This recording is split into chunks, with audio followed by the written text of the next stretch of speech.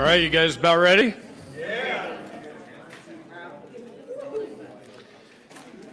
This is a uh, tremendous amount of information to learn in a weekend. You need to listen to it over and over and over again. I have drives available if you want them. We have a website available, state national website.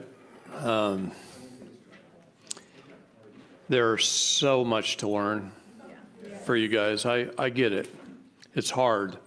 It's hard to get, get it all in one weekend. I'm trying to give you 38 years of knowledge in a weekend.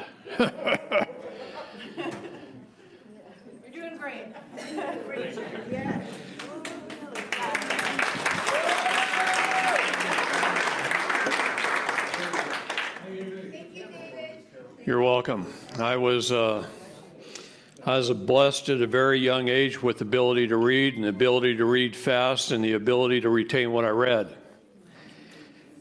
And uh, so I, I've read a tremendous amount of material in my lifetime.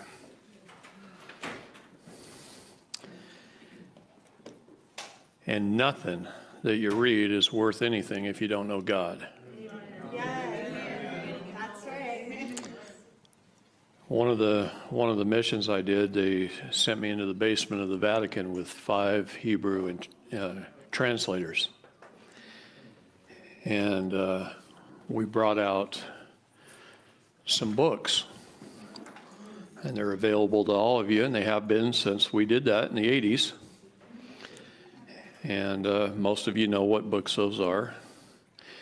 But what I'm going to tell you is there's many, many more. The Bible would be about that thick if everything was interpreted. And they're still finding scrolls. In January 23rd of this year, they found some scrolls. Unfortunately, the people that found them were amateurs and pretty much destroyed them.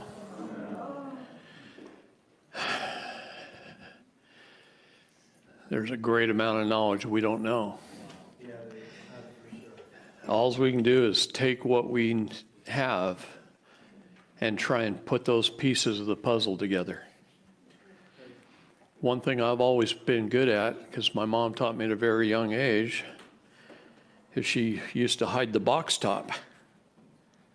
And she'd dump out a 10,000 piece puzzle on the floor when I was five. And she'd hide the box top. Figure it out. It was a blessing in disguise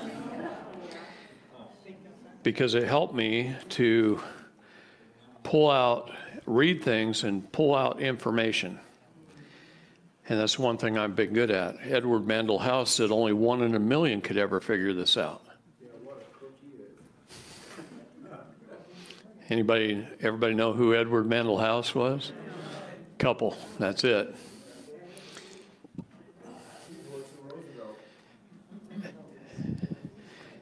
Edward Mandell House was a Texas oil billionaire. He never served one day in government ever. He held the ear of presidents and bankers. Somewhere in all this stuff. I have Edward, but I don't need it. Edward Mandell House. Mandel. Edward Mandel House. He's the one that put together the meeting at Jekyll Island with the bankers, the Federal Reserve, along with Aldrich, the Aldrich Plan, which in the Bible, that was the monster that rised up out of the sea. And that was the Aldrich drawing. In fact, I have it on here. I've got a PowerPoint of the history, just the history of how all these things unfolded and how it took place in every act of Congress. Okay, I've studied it all. I used to play these PowerPoints for classes. Problem is, they take a long time. We don't have that time anymore. We've got to learn this stuff very quickly, so I'm giving you the basics of how things work. If you can take the basics and do something with them, that's better than having to spend years studying every little detail. Okay? I've spent years studying every little detail. I don't recommend it. I could have been fishing. See?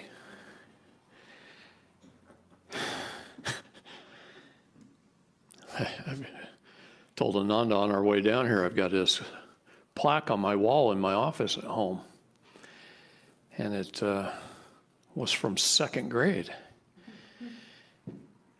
And it said David Straight read every book in the library.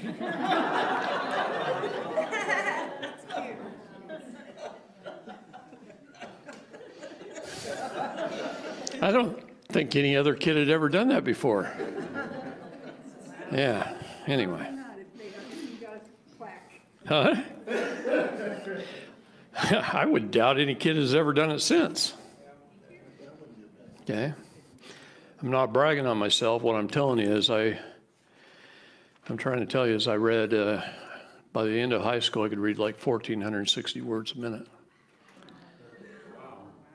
And I read everything. Everything I could get my hands on, I was an avid reader. I'd even go to the grocery store with my mom. And I'd walk in and I'd hit the magazine and book aisle and I'd read it all while she was shopping.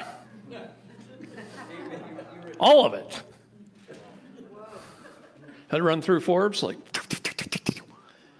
see what was going on. Newsweek, knew what was going on in the world. My mom never turned on a TV. She'd say, David, what's happening?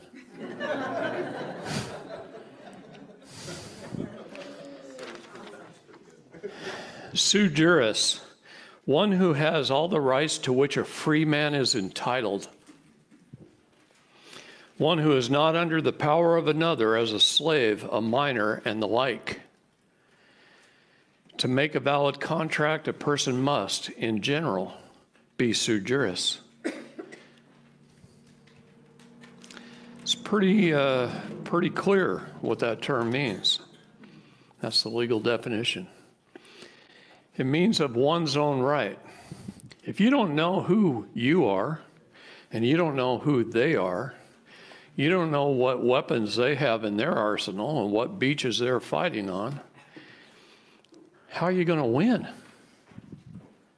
It's impossible to win. Everybody goes into court and goes, Man, I thought I did a really good job, and I lost. Huh. Wonder why. It's not that you didn't do a bad job. You went in there arguing the facts. The facts. I'm here to tell you right now that no fact or truth shall be tried in court. That's not what it's about. They don't care. That's their motto.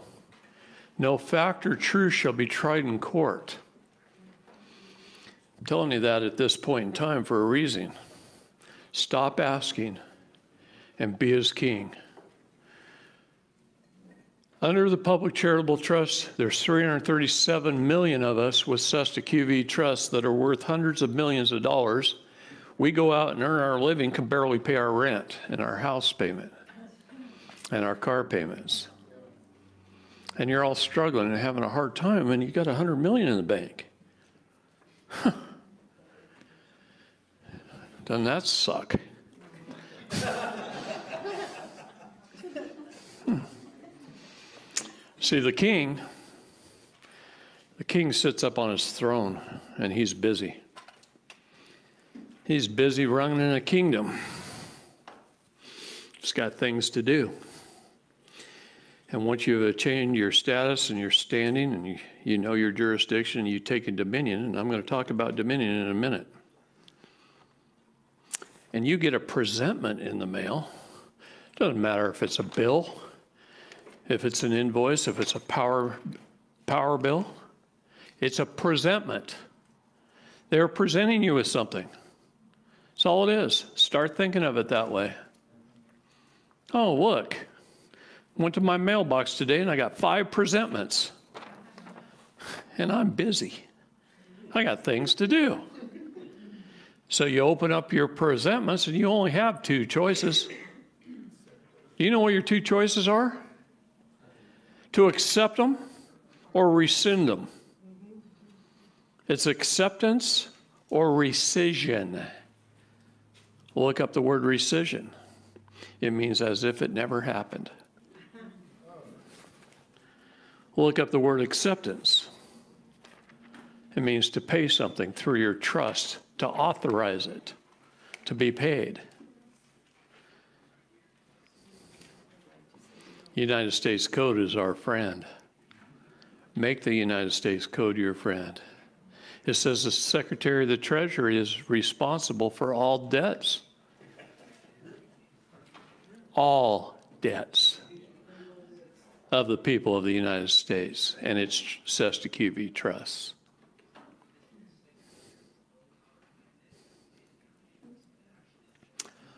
So alls I got to do is say I got my presentment and I stamp it received, date and time, and I sign my name in purple because I'm the king. And I put my king seal on it. And I look at it and I go, okay, it's a bill from Central Electric Co-op, my utility company. Ah, acceptance, date and time, signed by me, a specific way. It's my all caps name hyphen vessel, in all caps, written out. And then it is by David Lester Straight hyphen executor. And then I stamp it and I mail it back to him. And I'm done. And I'm done. I don't send no check with it. I don't have to. My account's got a few hundred million in it. What do I need to pay for it? I'm not the debtor, I'm the creditor. TransUnion, Equifax, and Experian is your credit report. It's what companies you lent money to. You're the creditor, it's not your debit report. Understand diction? They call it a credit bureau, not a debit bureau. It's not who loaned you money, it's who you lent money to. If I go fill out an application and I sign my name on it as executor of my vessel, and it happens to be a $2,000 Capital One credit card bill or application, and they send me a credit card in the mail, what happens? I've got a 72 hour right of rescission. A 72 hour right of rescission. And then I can activate the card if I accept its terms and conditions. And now I take that credit card and I go out and I start charging on it. And I run up some fuel at the gas station and go buy something, whatever. And then they send me out an invoice, a presentment. And I've got 30 days to pay it. Now, sometimes the king's busy and he puts it under a magnet on the fridge. No, I don't do that, but some, a lot of people do. And they meant to pay it, but they forget. And at the end of the 30 days, they get another presentment. And it says, past due, you got 15 days to pay. And they give you 15 days. And if you put that under the magnet and you forget about it, at the end of that 15 days, you now owe the full balance due. So if you charged up $1,000, you don't just owe that $25 payment. You owe the 1000 And they send you a 10-day opportunity to cure. You got 10 days to pay it. If you don't pay it in 10 days, it's judgment day. standard banking procedure, 7230 1510 judgment day. This is how we, state nationals, handle everything. I'm Teaching you a very valuable lesson right here. Don't stick things under magnets on your refrigerator. No, that's not the lesson, but it is. It's not the lesson. When our public servants step outside that box, they owe us some money. They committed an emolument violation. They used their position of power for illicit profit or gain. And our job, we only have two jobs in life, guys. Two jobs. Correct the errors our public servants make and to educate them so they don't do it again. If you ain't doing your two jobs, that's why corruption happens. Because you're not doing it. You're just acquiescing. You're just bending over, letting them do whatever they want to you as a slave, getting down on your knees and bowing to the master. No, I charge them. So I drive that 20 miles an hour over the speed limit and they stop me. And I go, "Hi officer, how you doing? Hope you're having a good day." And I sincerely mean that. I want you to go home to your family at night.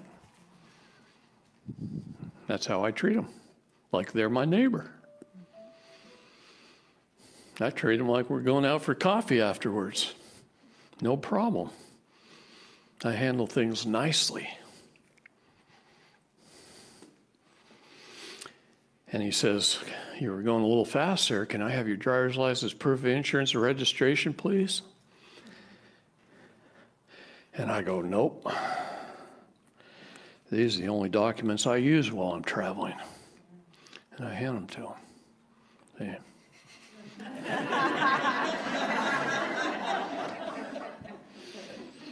And the first paragraph in this document says the Secretary of State of the United States of America. Oh, he has a little more clout than that police officer, I think.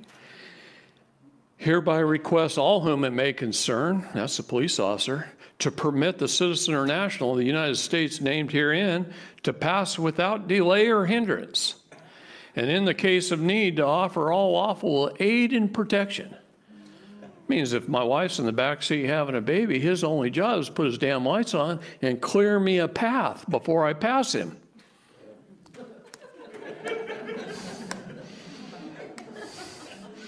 That's his only job.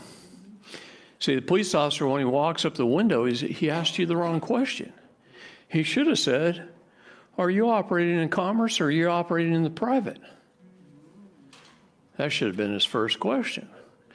But who trains the police officers? The county attorney, the bar.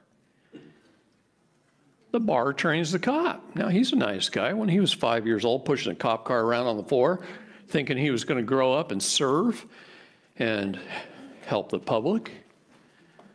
Little did he know. he didn't know anything. He goes into his job, goes into work one day, his first day on the job, and the county attorney comes in and teaches him how to collect revenue. Right?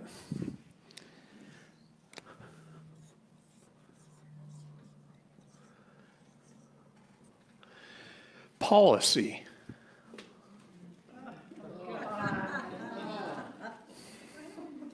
God, people just don't know what words mean, even if they're written down the side of a cop car. They haven't got a clue. We're so stupid out there. That says policy. Policy Enforcement Revenue Collection Officer. People ask me, they say, David, are you for defunding the police? I say, hell yeah. Let's just take all their money away from them, dissolve the corporation. We don't need them. And let's put good law enforcement back in. One that has a duty to protect. See, the Supreme Court has ruled that no police force in the United States has a duty to protect, only law enforcement does. And when they said that, I go, oh my gosh, do we have law enforcement? Who is that? Who's law enforcement? Who's law enforcement? Who's law enforcement? Oh, wait a minute, it's the militia. It's the United States Marshals. The only two groups with law enforcement capability. These idiots down here, they say, oh, you got, you got a problem, you better call the FBI. Yeah, uh-huh. The FBI. The FBI was created in 1908 by a secretary of the Department of Justice. They have no corporate charter from Congress to even exist. They have no authority whatsoever. They were put into place to investigate and cover up six crimes that the deep state commits. Yeah, you listen? I love suing FBI agents. It's so much fun. And we beat them all the time. They don't have any authority. They come knocking at my gate. I walk up to them and I say, "Hi, officer. How you doing? I, I hope you're having a good day." and they say, "David, I'd like to talk to you." I said, Well, you want to come in, take your badge and your gun off, and lay it down on your seat and come in for coffee? That'll be fine. But if you're here on official business, you don't have any authority. So truck off on down the road and find somebody else who will bend over.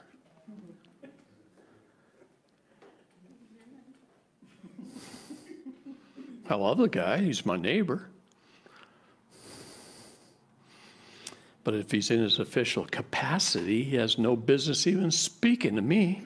I'm the king. And that's the way I treat him. Nicely. Okay? And they continue to try and talk, right? I say, You're Your officer, your officer, I am happy to answer any questions you have as soon as you return and provide me with your copy of your congressional charter.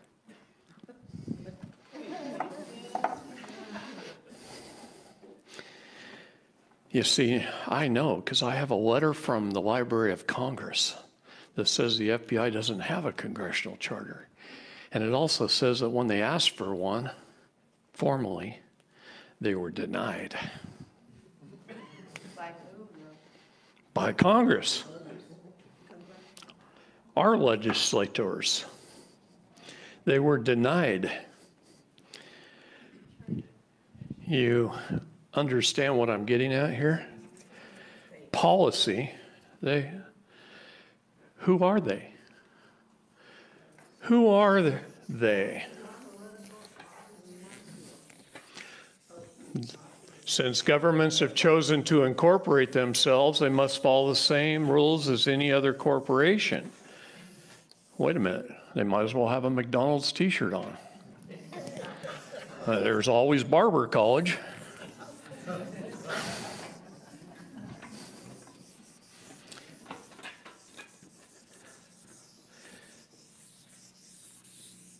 We, the people, lay down the laws. We, the people. Who are we, the people? You ain't one. Unless you've changed your status. Did you send an affidavit of repudiation to the Secretary of State of the United States? Did you get your passport to reflect that status? If you haven't done those two things, there are thousands upon thousands upon thousands of people claiming to be state nationals who are not. Because those are the only two things that are required. Everything else that people do shows their intent. And intent is important in the law. It's very important. Did you have the intent to commit a crime? I bet your attorney never even brought that up in court. You're kidding me. When I went into the federal courtroom with Jamie, with Judge Mosman, the very first thing I said was, Where was Jamie's intent to commit a crime, Your Honor? And he goes, thumbs through her paperwork. He looks over at the prosecutor. And he says, in trial, I don't think on count one and count five, you proved your intent. I'm dismissing those two charges right now. And then he goes, wait a minute, I don't think you did it on count three either. I'm taking that one out. Now Now she's down to two charges. I just took her from 20 years to 10 after her trial, or she'd been tried and found guilty by a jury of her peers. Now they weren't her peers. Do you know what the legal definition of the word peers is? Nobody knows. It's somebody from your own neighborhood who knows you, who knows your character and your situation in life. Only then can a man be truly judged. See, people don't even know the law. They don't know what definitions mean. So you walk into a courtroom and they're having a jury trial, and the, they've come in there and they pre picked your jury and made sure none of those people on there know who you are know what your character is. They made sure of it. And then they called it a jury trial instead of a trial by jury. We, the people, are entitled to a trial by jury. A trial by jury means the decision of the jury is final.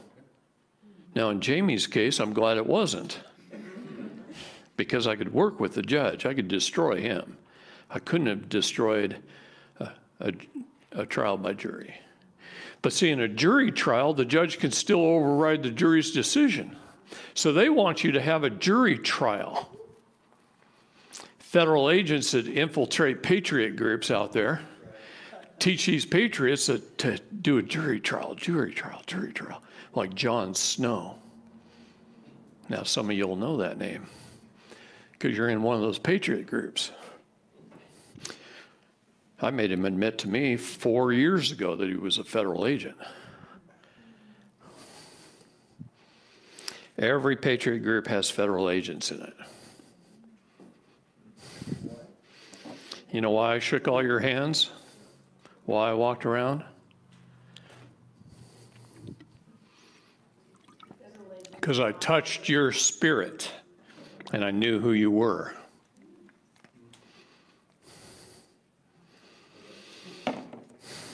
And I, I've been trained to do that. Can that be taught? I had to learn it.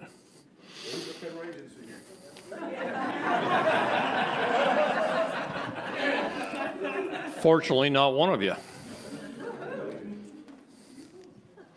Prove me different. If there is any federal agents in here, get your badge out. Show me. You know, if I ask that, you have to comply, right?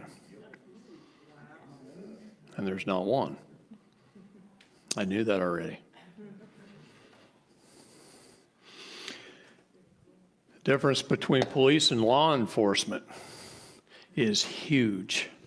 We need to be going into our city managers. We need to be going into our county commissioners' offices. We need to be telling them to dissolve the corporation.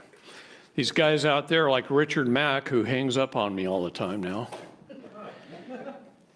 He says that he's a constitutional sheriff, and I used to be a sheriff, and I used to be a member of the Constitutional Sheriffs Association. And let me tell you something there ain't any constitutional sheriffs, no matter what they'd like to believe and what they call themselves. Now, they may have the best of intentions, but one cannot serve two masters. And they can't be a constitutional sheriff and get paid a paycheck by the county. See, if I was going to run for sheriff now, I would run for the people. And I would go to the people and I would say, Hi, how are you? Tell me your name. And I would get to know my people, right? And I would say, I'd like to be a constitutional sheriff of law enforcement, and I'd like to protect you and your rights at all costs. If you should elect me, I'm going to ask you for $100 a month, everyone in my county.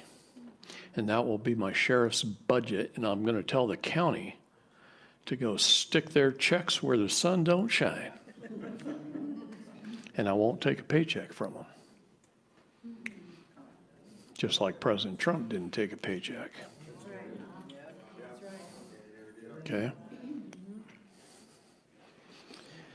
And I'd be a constitutional sheriff, and I would stop any other agencies of government from entering my county and coming after my people.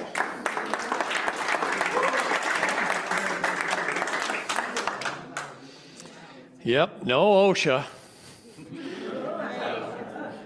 No OLCC or whatever it is, Oregon Liquor Control Commission. No, none of that. No BLM. I already had an argument with a 44 Magnum and a, a uh, United States Forest Service worker.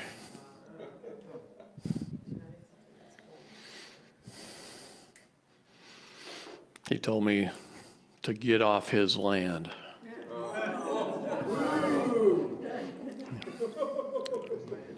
So I educated him very well, and I was wearing a 44 revolver. And I educated him. I said, This is my land. Don't you ever forget it. I told him to call Sheriff Stiles and get his ass up here, and it's Sunday, and we're 45 minutes from his office. You get him up here. He and I had coffee yesterday.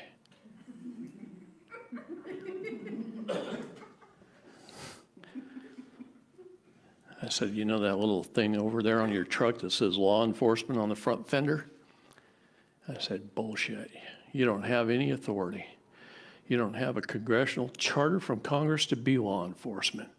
That's policy. That's shit made up. It's SMU. Okay? See, I have this right here, and I carry one with me at all times. And it says, I have the power. I have the authority. I'm a we the people, a state national. You're my public servant. Now get the hell off my land. Or we'll see who's the quicker draw.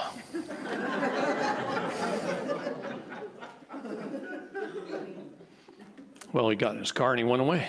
I don't know why mystery to me. I don't know why, but I don't back down. God told me not to. He said, David, stand strong against Goliath. Don't back down. Now be nice about it. He told me to turn the other cheek. But he also said, You might have to sell your cloak and buy a sword and smite evil down wherever it lays. So you do. And you have the same power that I do.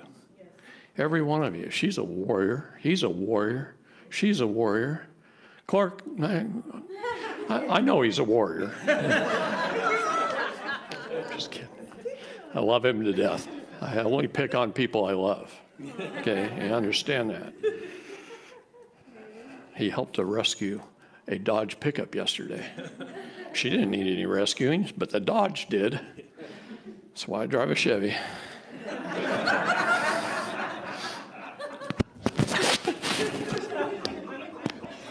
That was way too much fun. Sorry. Oh, you got to have fun doing this. Anyway, yes. when you, like you were talking about getting pulled over by a policeman, um, do you take that time to educate him, or is that? Oh. I love to educate them.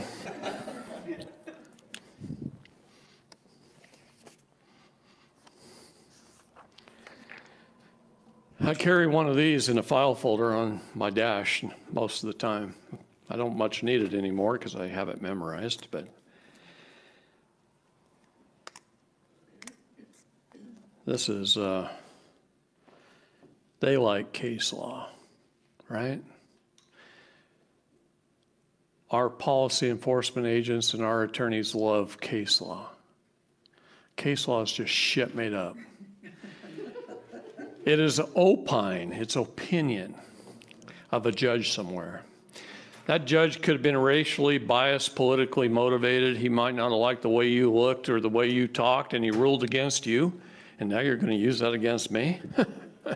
I don't allow them to use case law against me in my court. But they seem to like it, so it's okay for me to use it against them.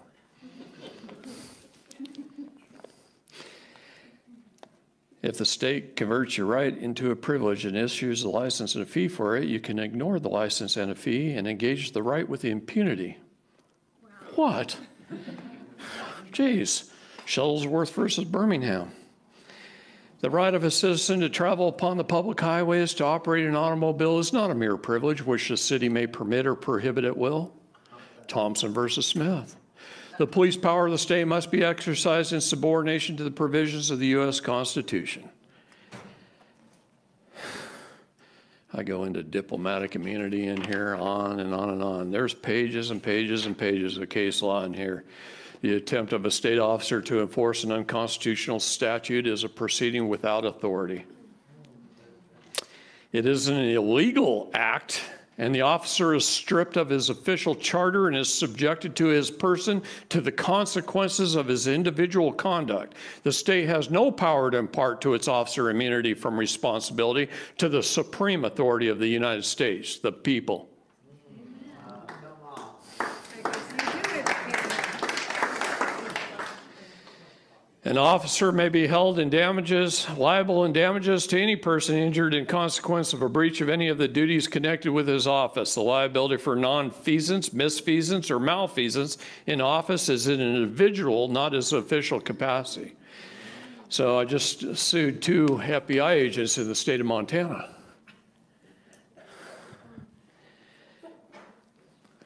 Oh, this is fun. I guess I'm going to go through this a little more than I thought I was going to. So I named the United States in the lawsuit. I named the Department of Justice. I named William Barr.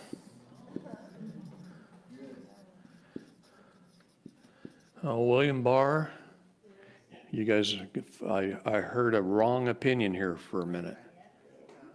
Okay? He had two things to accomplish in his office, and he did them. Okay. I named the Federal Bureau of Investigations. I named the officers personally. I'm just going to write person here. Personally.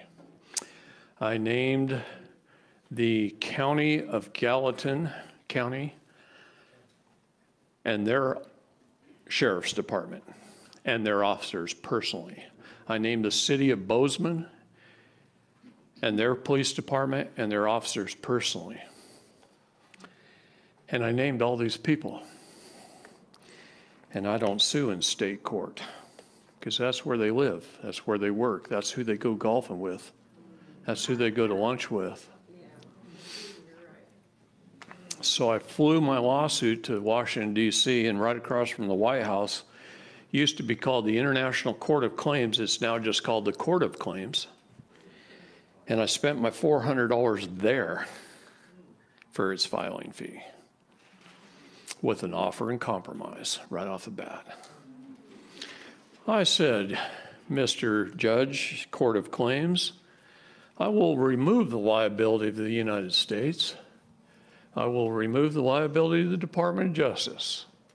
I will remove the liability of William Barr. I will remove the liability from the FBI. I will remove the liability from Gallatin County and the Gallatin County Sheriff's Department and the City of Bozeman and the City of Bozeman Police Department, as long as you remove the immunity of all the persons named. And the Court of Claims goes, that sounds fair. We'll stamp that order. And I said, well, I need one more favor. I said, now that you've removed their immunity, I said, I want you to refer it back to the Federal Circuit Court in Montana, and I want you to add a criminal referral on each of them. And why? because any officer may be held liable and damages to any person injured in consequence of a breach of any of their duties connected with their office. The liability for nonfeasance, misfeasance, or malfeasance in an office is in his individual, not his official capacity. And the judge of the Court of Claims goes, okay. So now, I have an order from the Court of Claims where I go back to the Federal Circuit Court in Montana where those FBI agents are in there with the judges and doing cases all day long, and they probably go out to dinner together. And I've got an order from a higher court removing their immunity. And then in our first hearing, I'm on my way up to do a seminar like this in Coeur d'Alene, Idaho. And I forgot just momentarily that there's a one hour time difference between Oregon and Montana.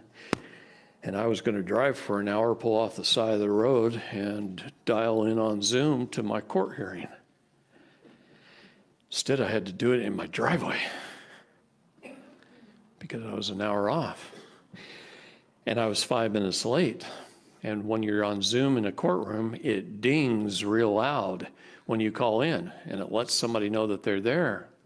And this angry old fart of a judge, he says, I thought all the parties were present. Who just dialed in? And I said, Well, Your Honor, it's me, David Straight. He goes, I don't see your name anywhere on this paperwork. I said, Really? How about the fact that in the body of the thing, I'm the fiduciary of MRPR? MRPR is the company that my friends had that the FBI attacked, and I said, Make me chief financial officer of your corporation. Because they raided a business and they stole a lot of stuff. And they left an inventory list that would have fit in a Rubbermaid container in the back of a Mini Cooper, but they hauled away a U-Haul full of shit, and it took them 14 hours to load it. But see, they stole. They stepped outside their scope and authority. In fact, nothing they did take was on their warrant because their warrant was shit made up. SMU. See? So I get on there and I go, I'm the fiduciary, Your Honor. I'm the one with financial, a financial obligation to protect my clients and my company. They're the CEOs, but I'm the chief financial officer. I hold that position in trust, Your Honor. And when I said those words, it got very silent for a long time.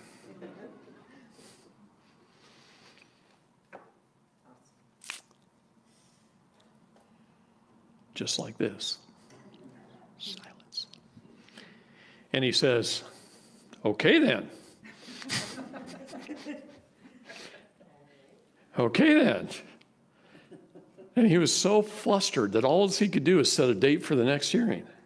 And we were done in about three minutes.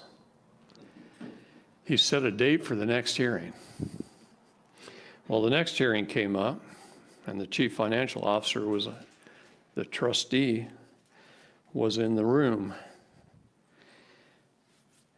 and he's trying to put the immunity back on the officers, saying they were acting in their capacity as a federal agent and county sheriffs and city police because they showed up with a whole team of people for this one little old lady and her business. Yeah, show of force. How great, right? Them and their guns with their tasers and their armored vehicles and their body armor and they're all tough. A little Asian woman about this tall who cooks real good, makes me good desserts. But she's so damn dangerous, you know, they have to show up with a whole bunch of people. Yeah, they do. They got to show that force. So I used it against them. They showed up in force. A foreign army of invaders. I had that in my documents. Foreign to them. These two I made state nationals a couple of years ago. Oh, they should never have done that.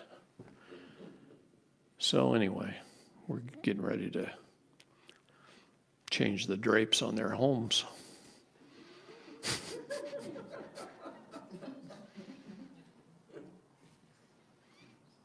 You know how fun it is to stand in court and look at an FBI agent and say, What color drapes are in your house? He was surprised when I served him because in Montana, every property is a long ways from somewhere else. And his driveway's real long, and he had a gate. And I gave the server agent the gate code.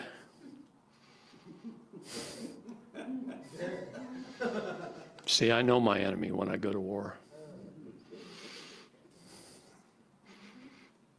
When I was in Judge Mosman's court, I said, I walked in and I says, Hey, Judge Mosman, how you doing? How, how's Jane and the kids? I see your daughter's about ready to graduate from high school. What college is she going into? She's not going to be a lawyer just like you, is she? Freaked him out. How do you like living up in the West Hills there? It's a nice little drive you live on. How do you like that?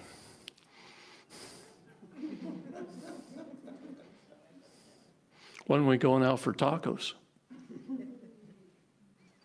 I'm happy to take you out for tacos. We can, we can talk a little bit about what the law is. How many of you know, know your judge? I've never been in that courtroom before that. I didn't know who he was. But before I stepped my foot in that building, I knew everything about the man. I even knew that he was LDS and that he went to church every Sunday. I know what the basic principles of his gospel are. And I'm going to call him out on it. And I'm going to do it nicely, just like this calm and cool, collected. Most of the time, when I'm in courtroom, I'm standing just like this, dressed just like this. And when I'm speaking to the judge, I'm speaking to the judge and I'm looking him right in the eye. And when I'm talking to a jury, I'm talking to the jury and I'm looking him right in the eye. And when I'm calling out the prosecutor for all the fraud in which he's committing, I'm looking him right in the eye. And nothing moves but this. And if you might be tactical, you might understand this. you understand it's the same move, right? I just my weapon is my diction. This helps give you guys the power. See, you need to stand. You need to go into your court cases smiling. When I go into court, I sit in the back of the room. I'm going to turn my barricade around now. I sit in the back of the room. And when the judge walks in, the bailiff goes, All rise for the Honorable Bob Smith. I make a concerted effort to lean back and put my feet up. Because that's what the boss does when the employee walks into the room.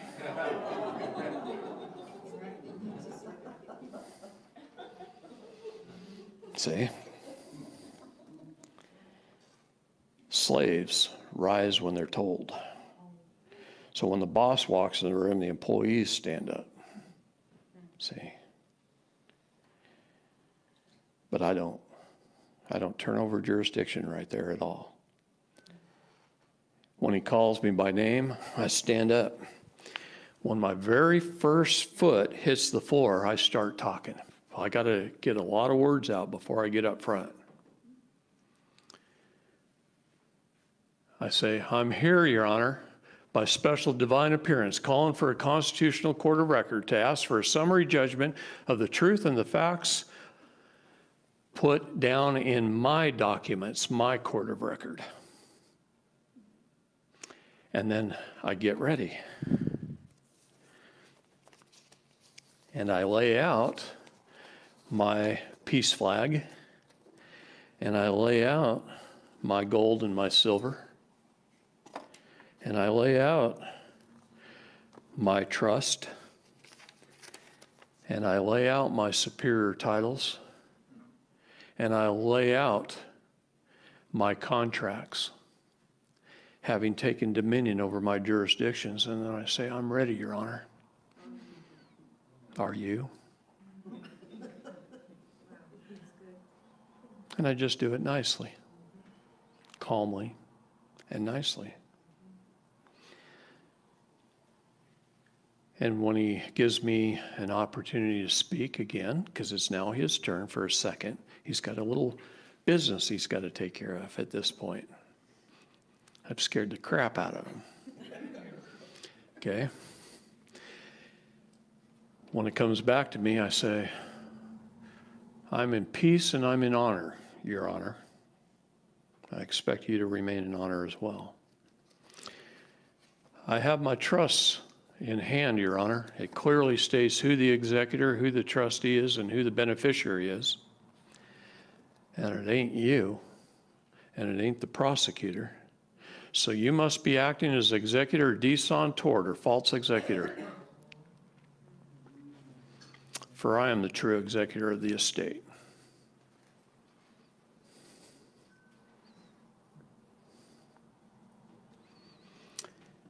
And then I say, and your honor,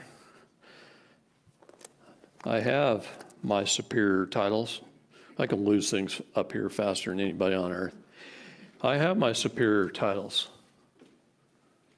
my apostilled birth certificates, my manufacturer's statement of origins on my vehicles, my land patents and grant deeds on my property. See, I'm the king. I own my castle. Do you? Your Honor, here's my gold and silver. I will not be considered a pauper. For the money I have on this table is more money than you have in your bank account.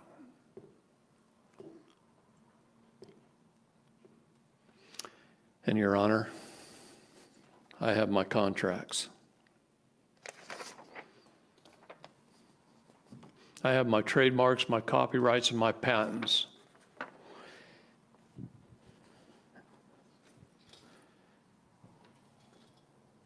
Are you willing to commit patent infringement, copyright infringement, or say I'm in breach of a contract? See, Your Honor, I am fully unaware of any contract that could compel me to perform. And if there is such a contract, bring it forward, and I'll follow it to the full extent of the law. But if there's not, we're done here. The king is busy. Okay, just dismiss the case with prejudice. We'll call it a day. You want to go out for tacos? You think that's funny? I do it all the time. When you have your affairs in order, you precede that court. What is a summons? It's a seance.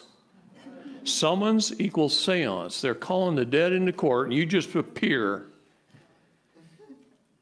It's called general appearance. They've done their ritual in their black robes, and they've called you in, and you just appear by general appearance.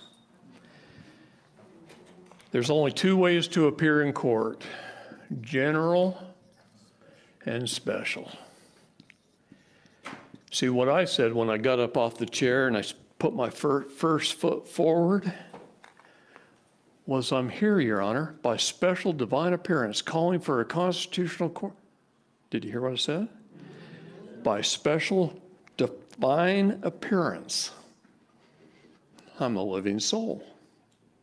I'm calling for a constitutional court of record to ask for a summary judgment of the truth and the facts placed upon the record by my documents, my court of record.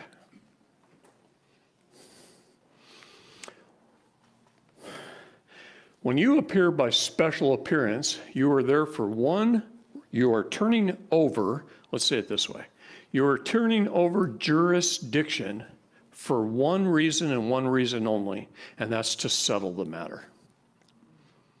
That's it. Not to be fined, not to get jail time, not for anything else. It's to settle the matter. What is an indictment? Okay, Who's been indicted in here? Oh, come on, be honest. Somebody has. In a room this size, there's almost always one indictment. All right. I'm glad I'm in a righteous group. Can you be indicted without a grand jury? No. But a grand jury will indict a ham sandwich because it's only going to listen to the prosecutor's side of the evidence. And he makes shit up. He lies.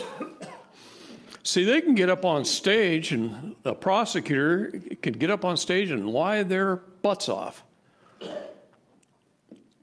And if you don't object, then his lies become the truth and the fact on the record. That's why your attorney says, shh, don't say anything. We'll handle it later. Keeps the gravy train going. It has to be objected to right now, right then. If his lips are moving, is lying, and every word that comes out of his mouth, I object to. Where was the intent to commit a crime, Your Honor?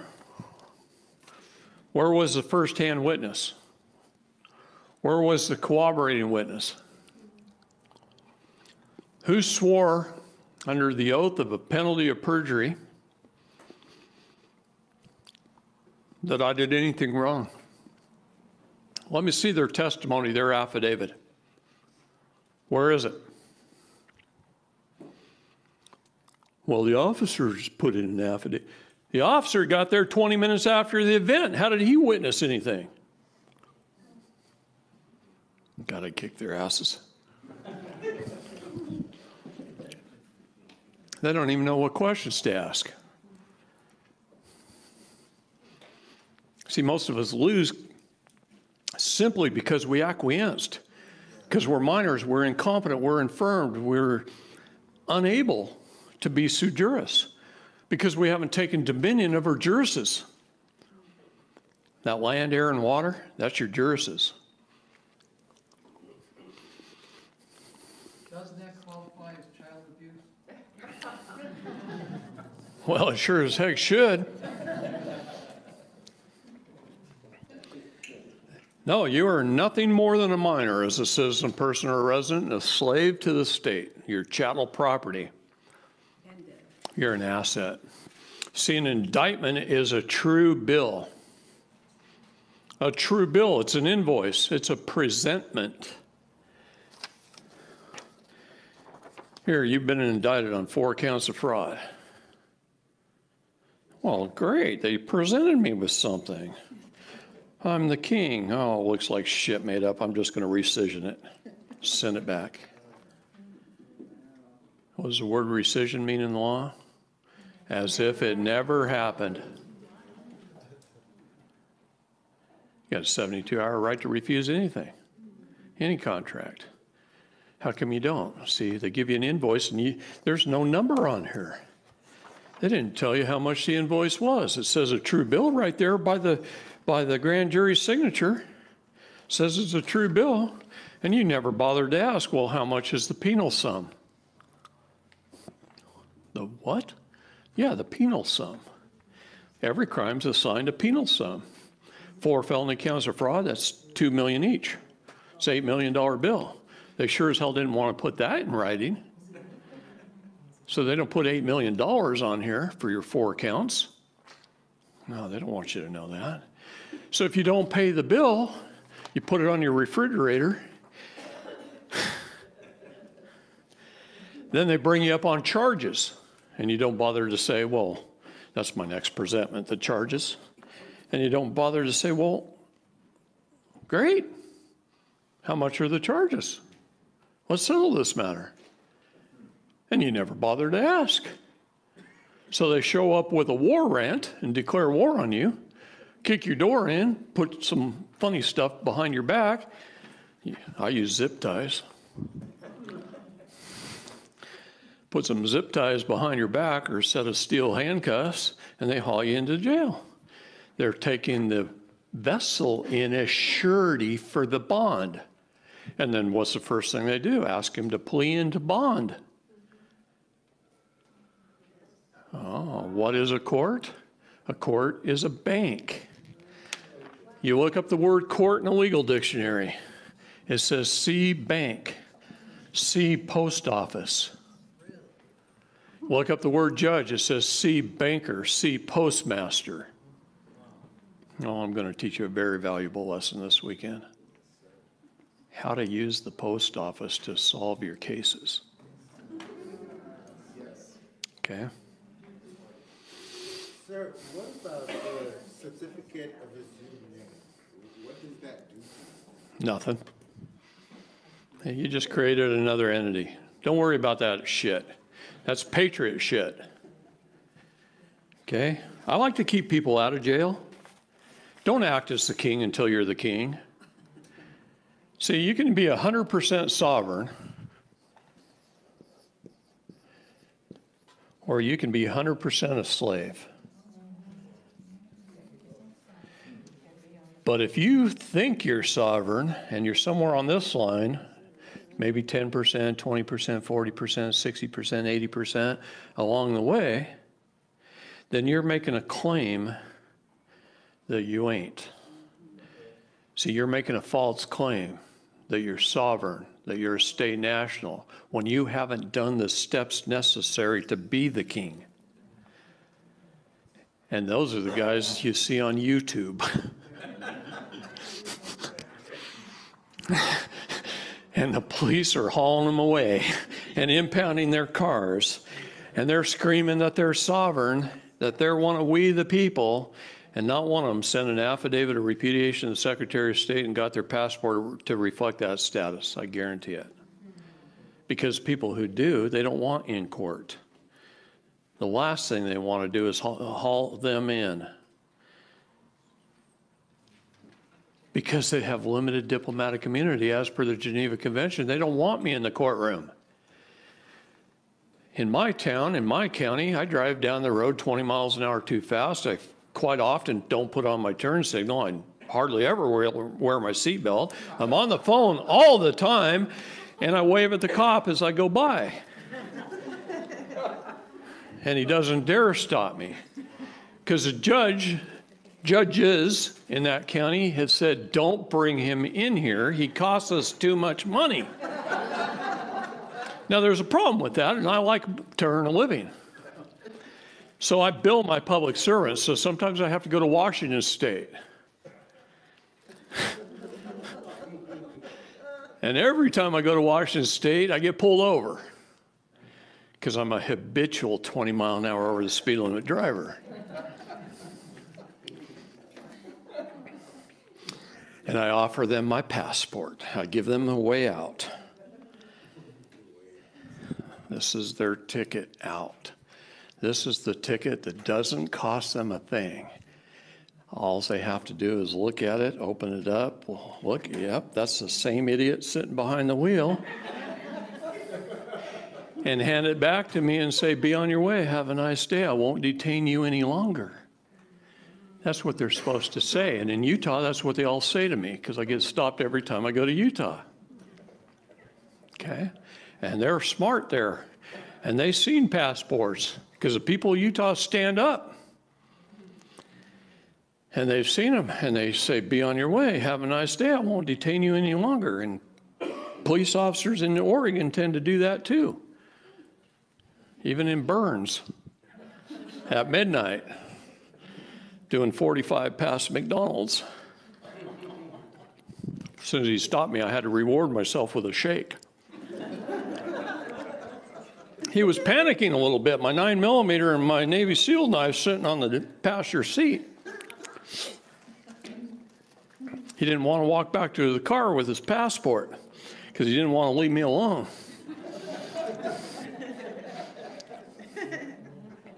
but in Washington state, they say, Can I have your driver's license, proof of insurance, registration, please? And I look at him, I said, You don't know who I am?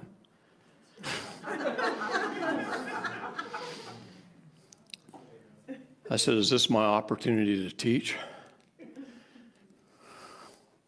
I said, You know, in the RCW, I have every right to travel and hand you a passport, and I don't need a driver's license. And he says, I want it anyway. And he puts his hand on his gun. That's a little bit of a mistake for him because it just cost him 10 grand. The minute he did, did that, I smile. I say, write the stinking ticket. I'll just rescission it anyway. And he writes it and he hands it to me. And I say, officer, and I get his badge number.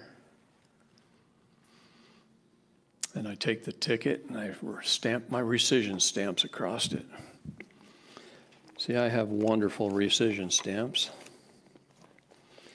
You can, you can do all kinds of great things with rescission stamps. Okay, That's what I do to presentments.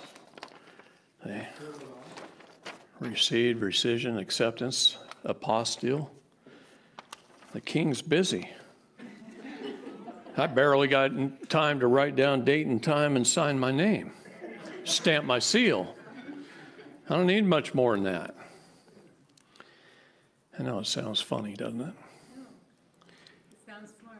But I just put my rescission on the ticket and I mail it back to the court.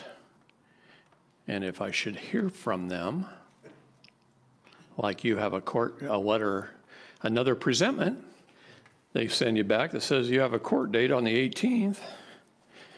Well, then I rescission that and I attach my, because they waived their 72-hour period the minute they mailed me something back. So then I attach my invoice to the presentment that I rescission, and I send them an invoice for 10 grand. Net due, 30 days. And do you have Hold on a minute. Hold on a minute. Hold on a minute. That's right, he violated my constitutional rights. Under threat of coercion, I could have, I could have did it for 75,000, but I'm nice. Okay? See, the increments in the United States Code is 10,000, 75,000, 250,000, 1 million in life in prison. I love the United States Code. It is my friend. It was put there for one reason, one reason only, and that's for we the, we the people to hold our public servants accountable. It wasn't put there for them to hold me accountable. I'm not a public servant. Citizens, person of residence, on the other hand, they are, but I'm not one of those. So I take my presentment and I send it back to them with their first invoice, net due 30 days they send me another one. See, I didn't offer to appear in court. I didn't. Uh, I didn't give them that opportunity. So they just magically send me another letter, another presentment that says, "Oh, we moved your court date up two weeks. It's this date, or I mean, back two weeks. It's this date." So I take that presentment and I stamp it re- received and rescissioned and I send the invoice, net due. Past due, net due 15 days. Past due, net 15 days. At the end of that 15 day time, I've usually got another presentment in the mail. And it's usually a presentment in the mail that says, don't worry about appearing in court just pay the bill. It's $197 plus $15 late fee. And I send them a back. I rescission that and I send it back and I say, seriously past due, 10 day opportunity to cure, please pay my invoice in 10 days. Now, I want you to understand something. Mine is now beating theirs in the order of things. Okay? So now they got 10 days. Then it's Judgment Day. So on Judgment Day, what I do is I do a one page affidavit, a very simple one page affidavit. And I don't talk about the ticket. I don't talk about the speed, what road it was on, what the officer's name was. I talk about my banking process. That I followed banking process of 72, 30, 15, 10 judgment day. Item number one, I did this and this and this. Item number two, I did this and this and this. Item three, I did this and this. Item four, they failed to pay. And I asked the court clerk for summary judgment and administrative process on my banking process. And she gets a judge to sign it because I followed proper process. It ain't about the ticket. It ain't about the truth and the facts. No truth or facts should be tried in court, and I know that motto. It's about your processes. It's about their processes. See, there's a nine-page PDF you can get online and order, and it's their procedure. It's the Federal Procedures Act. And they don't follow their procedure. So I do my procedure properly, and I get an order of judgment. Now what do I do? I say, well, police officer violated my constitutional right, and who is his boss? The Attorney General of the state. So I send my judgment, and along with my past due invoice to the Attorney General. And I've made $30,000 this year so far. Because three officers violated my constitutional rights. Now, if I worked at it, I could have made a whole lot more. I got a friend down in Texas I taught this stuff to six or seven years ago. I kept track of him for about a year, then I lost track. He calls me up in like February, and I said, What are you doing? He goes, What are you doing? You still putting on seminars, teaching people all this good stuff? And I said, Yeah. I said, What are you doing? He says, Oh, I just go about my life and live.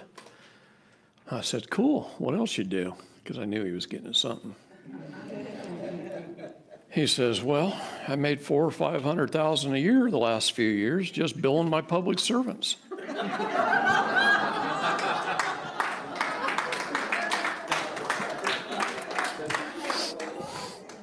Nice gig if you can get it. Five minutes before lunch. Okay. See, this is a big key to what I'm teaching you this weekend. Understand banking process, because all courts are banks. All judges are bankers. You want to have some fun someday? Go into your local county traffic court. Just show up at nine, sit there with a notepad, and as they run the cattle through, the chattel, as they run them through, listen to the fines. Judge says, your fine's $197, write it down. Your fine's $1,028, write it down.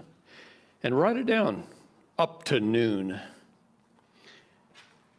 And do that in a small county like Deschutes County. And between nine and noon, that bank brought in over $30,000 to taxing the poor, which might not otherwise be taxed. You think they're not a bank? That's just traffic court. Four hours. They had four courtrooms going. I can only sit in one at a time. How, how much money are they running? Okay, let's just double it. Say there was just as many people with the same amount of fines in the afternoon. So that's 60 grand for each courtroom. There's four courtrooms going all day long. Yeah, you see how this is adding up? That's $240,000 a day. They're taxing the poor, which might not otherwise be taxed. Yeah. Yeah, you see how that works? Why do you want to be one of those poor? Why do you want to be taxed? Maybe you don't want to give up your thirteen hundred social security month. Oh, heaven forbid. You don't give up any Social Security to be a state national. Social Security is a private annuity contract. That's how it was set up. Now, it's a lousy freaking investment. You could have put $25 a month away in a good mutual fund, and you'd have 10 times more at age 65 than you had through Social Security. Instead, you chose to put it in something that's only returning 1 or 2% a year. That's your mistake. But it's still a private annuity contract, and it has nothing to do with whether you're a state national or not. You don't give up something you put money into, ever. Okay? You don't give up something you put money into to be a state national. S- State nationals are the king. King doesn't give that stuff up. Okay? We only have time to accept or reject. When I read this acceptance right here, this stamp, third one down, it says acceptance for trust authorized payment. Date and time, David Lester Straight vessel, because that's what's bonded and insured. That's whose, the CUSIP number is attached to the ship. You know why they put numbers on tails of airplanes? Because it's an airship. They put numbers on the ships too. Why, do they, why does every Navy ship have a number? Start thinking. Does this have to do with maritime law? Of course it does. Yeah, inland piracy, let's call it that. Okay, and then it says by, and then a line, hyphen, executor. Because I'm going to take my purple pen and I'm going to sign it legibly. Now, here's a big mistake everybody makes. I just had a guy in jail who I had instructed, don't sign anything. And they handed him this little deal, we'll let you out of jail if you sign this plea. And he says, I can't sign anything, so I'm going to just write without prejudice there. Well, Mr. Without Prejudice, you just signed something. If you put an X, if you write UCC 1-308, if you put any mark of yours at all, like doctors do, you sign it. I'm telling you, you want to stay out of jail? It takes three signatures to put a man in jail, in prison. I don't mean jail, I mean prison. It Takes three signatures. Yours too. The judges, the prosecutors, and either yours or whoever you gave a power of attorney to. That's why you never give away a power of attorney. You have to be the king. You can't have power of attorneys out there. You can't hire an attorney. You hire an attorney, you've lost. You want to start winning? Don't have no stinking attorney. I'm telling you, it's scary. I'll give you that. But we can teach you how to have strength and power and remain calm in the face of adversary, in the face of danger. My code name in the military, and I don't tell anybody this, and I think only one person in this room knows it, was Karma Fairy. Yeah, we all have these handles, and we don't give them to ourselves. But my code name was Karma Fairy because I just rained karma down on them. Okay?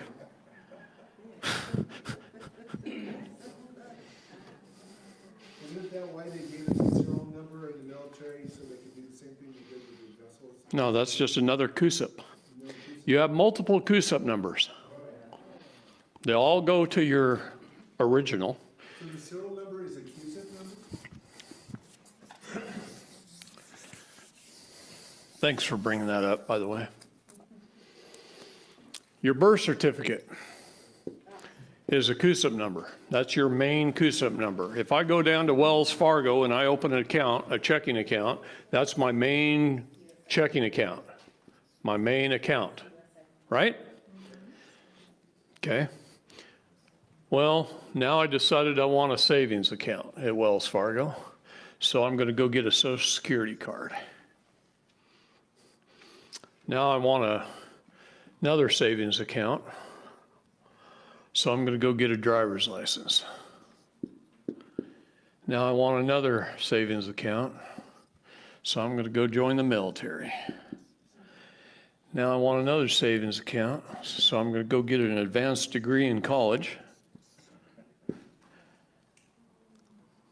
And my student ID number is a CUSIP number. It's nine digits. Anytime they assign a nine-digit number to you, three four seven two one nine zero, like a driver's license, that's my driver's license number. I don't need, you only need a driver's license for three things. You're gonna drive an Uber, haul passengers for hire? You need a driver's license to haul passengers for hire. You need a driver's license to haul goods for resale and interstate commerce, a truck driver. You need a driver's license if you're a public servant in the performance of your public duties. And guess what you are?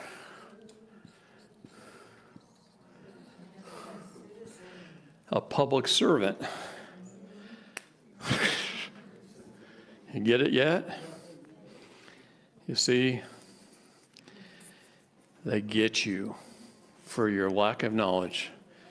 God says, For the lack of knowledge, my people shall fa- perish and fail. Right?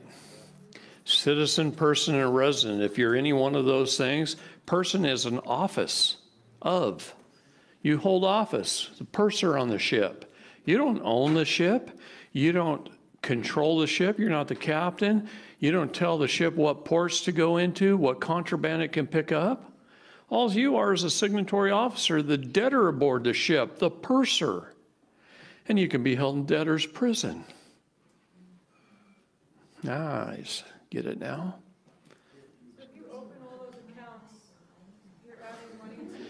Hey, the more you achieve in life, the more they think you're worth. Yeah.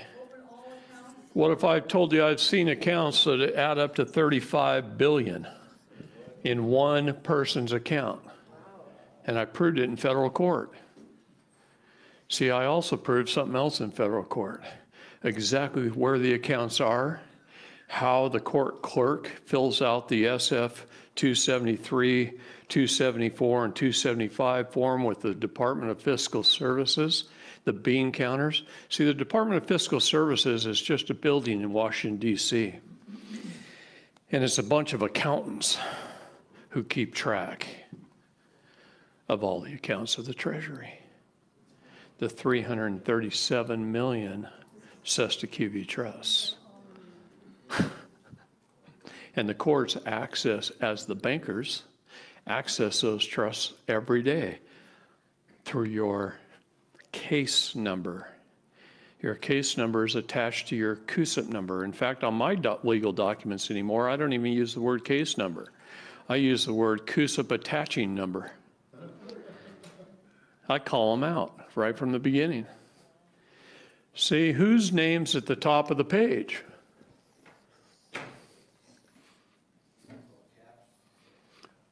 No, the creators. The creator's name is at the top of the page. How many of you do a court document and you put the court's name up there? First District Court of Placer County. Now it's their document. Their name's at the top of the page. They created it, even if you wrote it. You just lost. That in which one creates, one controls. Your name goes to the top of the page. And then it may say something like Ninth District Federal Court or something like that. That goes down. In fact, that was kind of dumb of me. I always leave three and a half inches. Three and a half inches. Why do I leave three and a half inches there?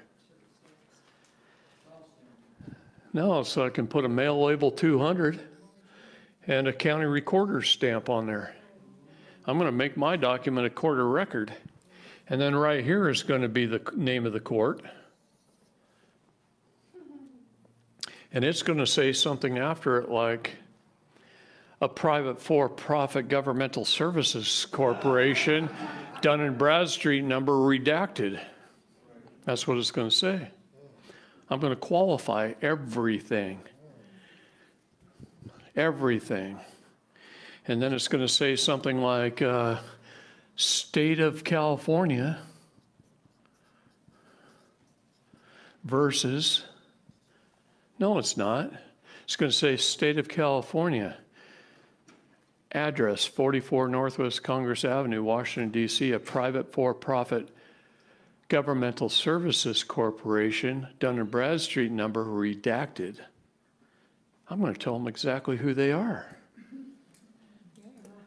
Start shoving it right up immediately. Okay? And then it's going to say versus David Lester Straight all caps hyphen vessel, not defendant. It's going to say hyphen vessel. And then it's going to say by colon David Lester Straight executor.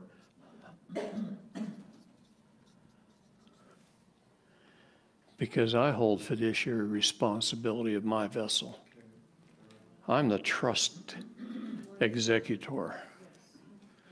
So David, as things heat up in society, are you, you're doing these classes to educate people because you see more, more of us are gonna end up getting hauled into court and you're trying to? The red dragon's affecting us all, and it has been, and it's going to until March 18, 2023. So this is a way out of that, is what you're saying, when that happens, when more and more people. Then there's going to be seven years of turmoil. There's not a thousand years of peace until 2030.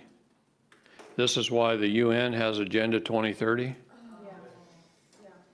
They know this shit. They know the Bible. They know the predictions. They know how all the revelations work. Are you gonna cover that, you, you touched on it, the Q or whatever, I, I decided one way or the other on that, you said that's real, are you covering that at all, or not?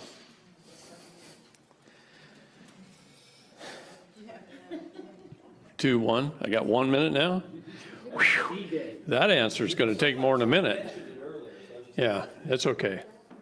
We'll get on it over the weekend. Remind me again. All right, so this is how it goes.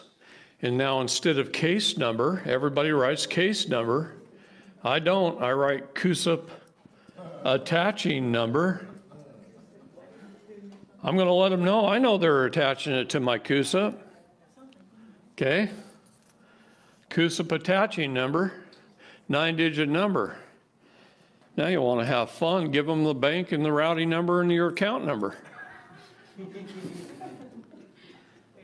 And then say, don't freaking touch. You ain't the signatory. See, under the public charitable trust, under that umbrella, you are the co-trustees, the co-beneficiaries, and the only signatory officer. They can't touch it without your permission. You know what? The Department of Fiscal Services will tell you that the Department of Justice is the largest contributor to the federal budget by far. That's taxes, that's tariffs. Everything here comes out of your Cestui Que Vie trusts. Through our court systems in the United States, they collect 1 trillion a day. That's more in 25 days than our entire gross domestic product of the United States in a year. And they do it out of your accounts that you don't even know you have until today. All they got to do is give you a case number and fill out a bid bond upon indictment. Fill out a performance bond upon trial, and then fill out a payment bond upon sentencing. And then they hold your body as surety for the bond, and they throw the body in jail. And under the federal rules of criminal procedure, you could have just signed over your house and left your body free. Now, you wouldn't have had a place to live, but they'll take your house instead of your body. They don't give it what surety is? It is. Most people don't even know that, but it's Rule 1001. Okay? So they hold your body as surety while they collect on your trust. Everything is a banking term. An indictment is a true bill. If you don't pay the bill, you're brought up on charges. You don't pay the charges, you're asked to bond. You don't pay the bond, they hold you as surety. Well, they collect on your trust. Now, is that not all banking diction? And you thought they were after you.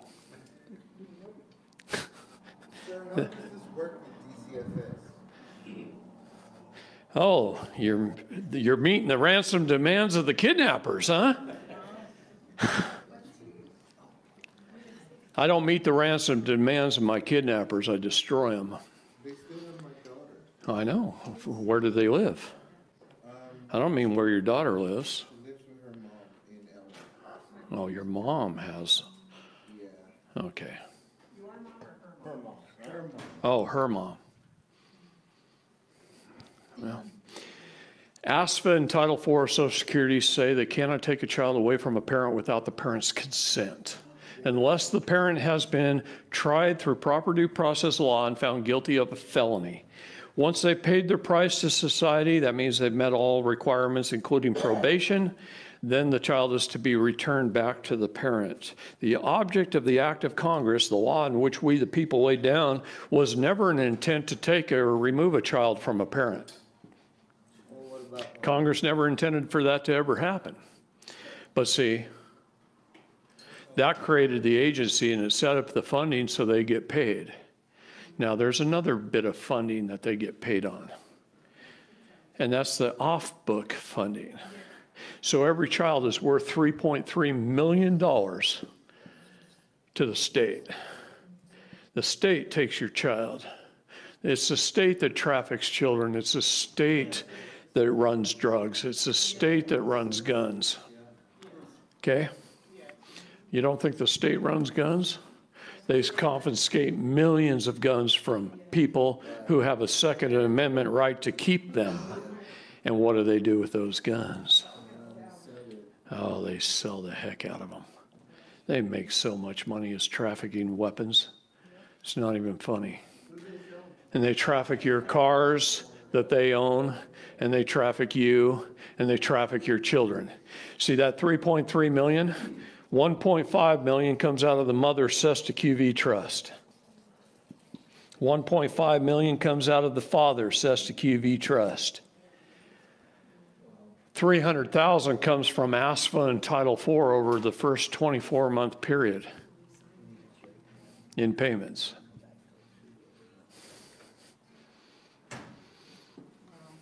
See, if it was my kids, I'd hold them firmly by the wrist while I slept.